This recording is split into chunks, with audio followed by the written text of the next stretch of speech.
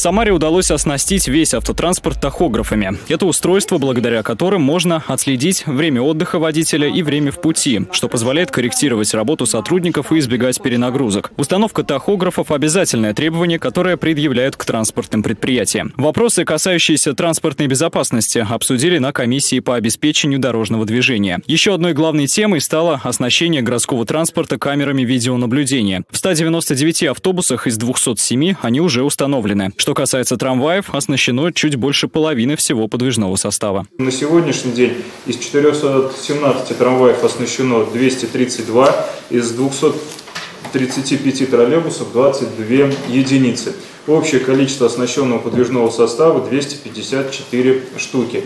В этом году в рамках нацпроекта «Безопасные качественные дороги» планируют устранить 53 очага аварийности и предаварийности, которые выявили специалисты профильного департамента и областной и городской госавтоинспекции. В местах концентрации ДТП перемены произойдут до 30 июня, а решить остальные намеченные дорожные вопросы планируют к 1 сентября. Ликвидация очагов позволит минимизировать количество несчастных случаев. Планируется также нанесение линий дорожной разметки, порядка 105 тысяч погонных метров.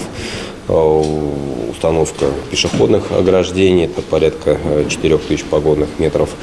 Э, плюс также будут дополнительно проведены работы по установке светофорных объектов и знаков. За первые три месяца этого года ГИБДД фиксирует двукратный рост ДТП. Всплеск пришелся на март, начало школьных каникул. Особое внимание нужно уделить тем дорожно-транспортным происшествиям, которые произошли у нас по вине детей. Таких дорожно-транспортных происшествий у нас произошло три с начала года. Во всех случаях у нас дети перешли дорогу в неустановленном месте в зоне видимости пешеходных переходов.